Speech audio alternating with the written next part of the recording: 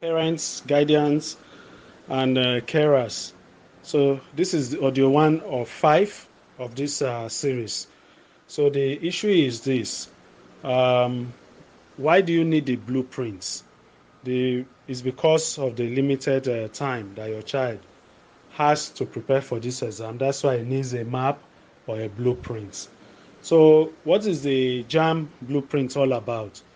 So you see, students fail JAMB uh, exams not necessarily because they are not smart, but sometimes it is because they don't have the right system that they will follow that will make sure that they cover the syllabus and they also don't have the system that helps them test them uh, on what they have already studied.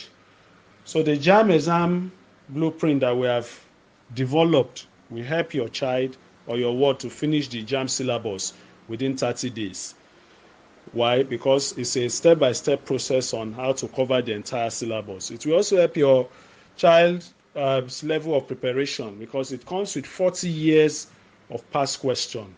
Yeah, you had me right 40 years of past question. Remember that the exam is all about question. So the more question your uh, child can practice, the better so if your child must pass the JAMB exam within the limited time that he or she has, then the JAMB exam success blueprint is very, very important.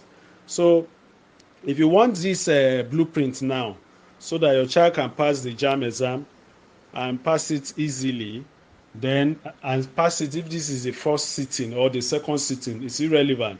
Then what you need to do is to click on the link we are providing here so that you can uh, get it. And of course, uh, phone numbers are also there, so you can get the blueprints.